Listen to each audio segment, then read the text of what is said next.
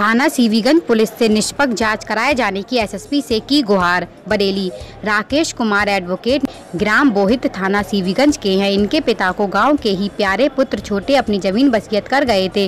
प्यारे के ध्यान के बाद प्यारे के लड़के महकू बहादुर और ननकू ज़मीन पर जबरन कब्जा करना चाहते हैं, जिसका बाद न्यायालय में चल रहा है। बहादुर की पत्नी कमलेश ने फर्जी मुकदमा थाना सीवीगंज में लिखवाया है, जबकि वास्तविकता ये है कि ऐसी कोई घटना नहीं घटी। राकेश कुमार ने पूरे प्रकरण की निष्पक्ष जाँच कराने की मांग की है।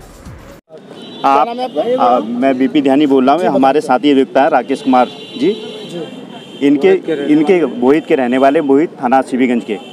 इनका उस जगह पे 25 साल से कब्जा है।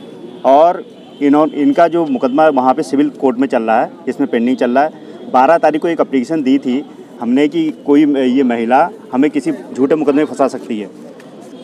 उसके बाद 20 तारीख को इसी को लेकर हमारे खिलाफ अपराध संख्या एक सौ वन फोर नाइन उन्नीस में चार सौ बावन तीन सौ छिहत्तर पाँच सौ चार पाँच सौ छः एस सी एस की एक झूठी एफ़ आई आर लिखी गई। सीबी थाना सीबीगंज में लिखी गई। उसके संबंध में हम आ, कप्तान साहब के पास ये कहने आए कि ये जो रिपोर्ट लिखाई गई जब सिविल लिटिगेशन था उसके बाद भी हमारे खिलाफ रिपोर्ट लिखाई गई। इसकी निष्पक्ष विवेचना की जाए और ये झूठा जो केस है उसको स्पंद किया जाए। क्या नाम है? कमलेश। कमलेश। ये भी बोहित की रहने वाली है। केवल वो ज़मीन का कब्जा छोड़ दे।